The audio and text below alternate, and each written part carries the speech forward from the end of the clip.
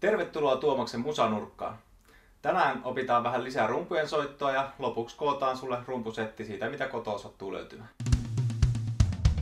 Kitaran kielet, hanurin palkeet, basso ja piano, kalimpan alkeet. Tuomaksen musanurkkaa. Nyt jos et ole vielä katsonut aikaisempia jaksoja, niin kannattaa katsoa ne, koska nyt mä oletan, että peruskomppi osataan ja sen opettelu tunnetusti saattaa mennä vähän aikaa. Eli katso ne ensin, opettele peruskomppi ja sitten palaat tähän videoon. Tähän asti näissä videoissa on perätty kolmella rummulla. Meillä on pasari, tasoitetaan jalalla, virveli, joka on yleensä vasemman käden homma, ja sitten haitsu, joka on oikealla kädellä. Ja tänään me opetellaan loput rumpusetin osat. Tämän pelin nimi tässä on Crash. Ja Crash on toiselta nimeltään aksenttipelti. Ja se nimi tulee siitä, että sillä usein aksentoidaan, eli lyödään vähän voimakkaampia iskuja. Ja monesti Crashia käytetään merkkaamaan aina uutta osaa. Eli kun uusi osa alkaa, niin sulle tulee jalka ja Crashi. Ja sen jälkeen oikea käsi jatkaa sitä samaa mitä tähänkin asti. Eli näin.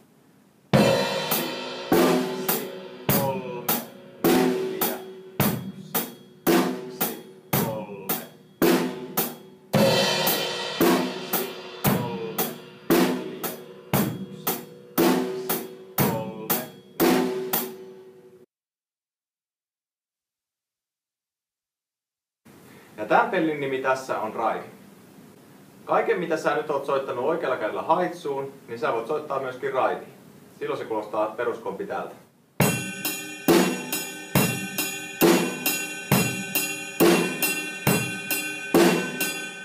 Raidista lähtee itse kaksi vähän erilaista ääntä. Täällä on tää keskikohta, mistä kuuluu tämmönen vähän kellomaisempi ääni.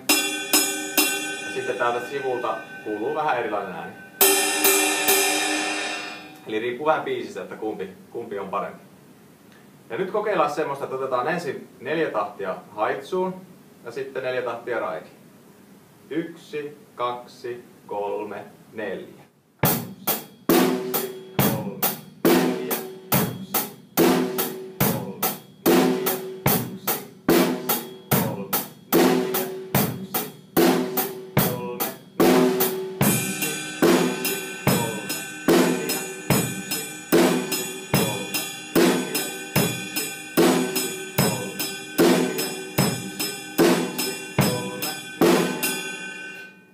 Sitten yhdistetään siihen vielä crassi.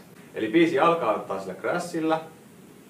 Eka isku on crassi. Ja sitten kun vaihdetaan haitsusta raidiin, niin taas eka isku on. Ja menee näin, neljä tahtia. Yksi, kaksi, kolme, neljä.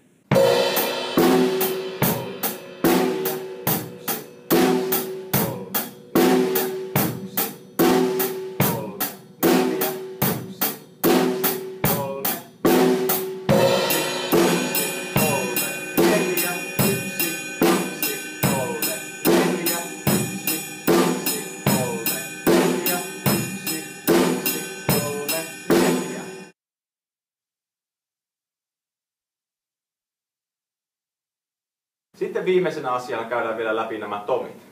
Eli yleensä näissä kouluseteissä on kolme tomia. Tässä on kaksi etutomia, eli pikkutomit, ja sitten lattialla on monesti tämmöinen lattiatomi, eli iso tomi. Ja tomeja käytetään usein rumpufilleihin. Eli rumpufilli tarkoittaa sitä, että ennen kuin se seuraava osa alkaa, vaikka kertosäe alkaa, niin soitetaan näillä tomeilla jotakin, mikä saa sen kuuntelijan jo vähän odottamaan sitä, että kohta se osa vaihtuu jonkin muuhun.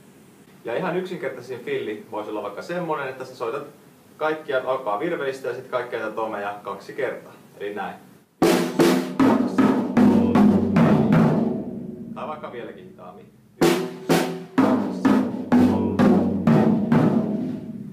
Ja sitten miten se biisiin saa, niin tää filli kestää nyt tahdin, koska tässä on kahdeksas osia, kahdeksan kappaletta. Eli silloin meidän täytyy soittaa sitä komppia vaan kolme tahtia. Ja sitten se neljäs tahti kuuluu tähän filliin.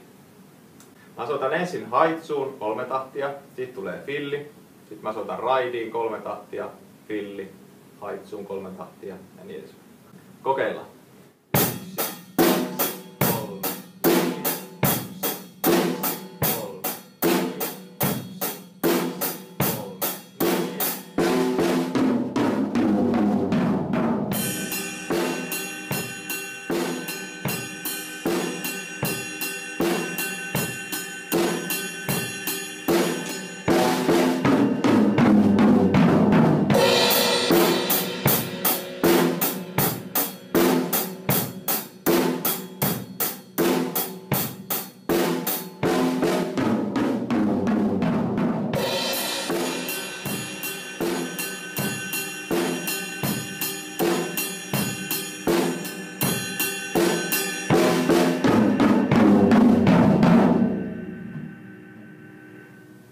Ehkä saattoi huomatakin, mä soitin tohon filliin tuossa lopuvaiheessa pasarin niin, että mä aina joka rummun kohdalla soitin pasaria. Eli Se ei ole mitenkään pakollinen, mutta kuulostaa ihan kivalta siellä tukemassa sitä filliä. Kokeillaan sitten vielä toista filliä, joka on puolen tahdin mittainen. Eli siinä on vain neljä kahdeksasosaa. Voidaan valita vaikka virveli ja nämä tomit niin, että me soitetaan vain kerran kaikki. Ja nyt koska se on puolen tahdin filli, niin me soitetaan tietysti sitä komppia kolme ja puoli tahtia. Ja mä aloitan taas krässillä. Yksi, kaksi, kolme, neljä.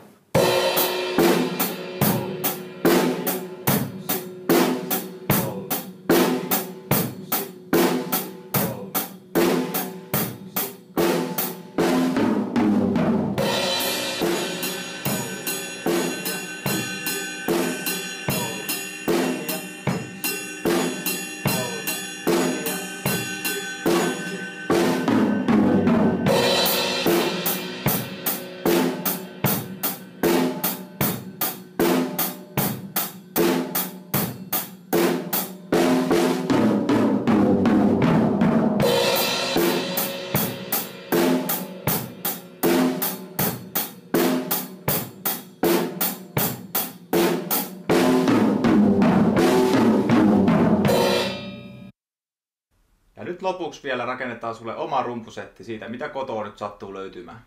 Ja nyt ennen kuin aloitetaan, niin sä voisit vielä käydä vanhempien kanssa sopimassa, että mihin aikaan ja millä rummuilla sä saat harjoitella.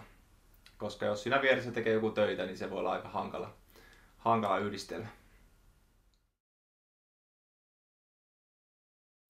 Ensin sä tarvit rumpukapulat.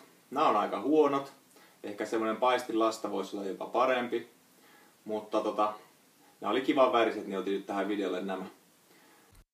No haitsuksa voisit hakea sitten jotakin sihisevää tai tuommoista rapisevaa. Mulla on tämmönen näkkileipäpaketti tässä.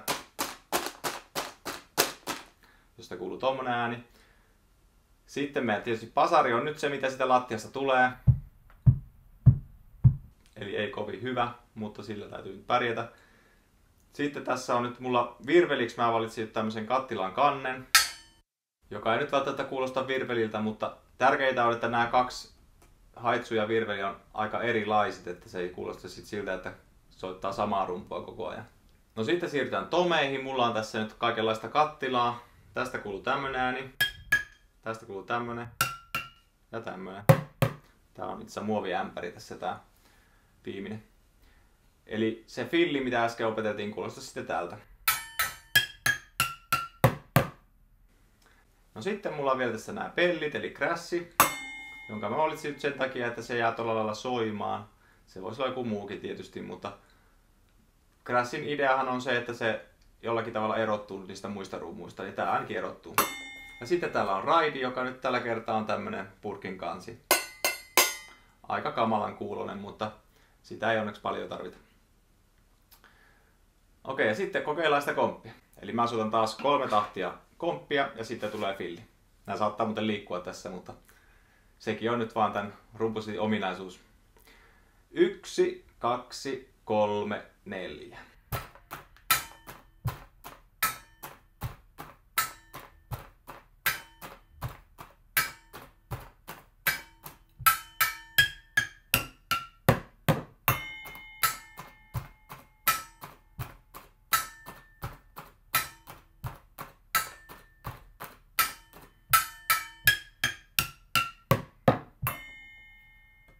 Ja kuten huomasin, taas tuli crassi sinne alkuun. Ja sitten otetaan vielä se viimeinen, eli puolen tahdin filli. Eli komppia tulee kolme ja puoli tahtia. Sitten tulee nämä neljä rumpua filliksi ja sitten taas crassin kautta tänne raidi. Kokeillaan se nyt vielä. Yksi, kaksi, kolme, neljä.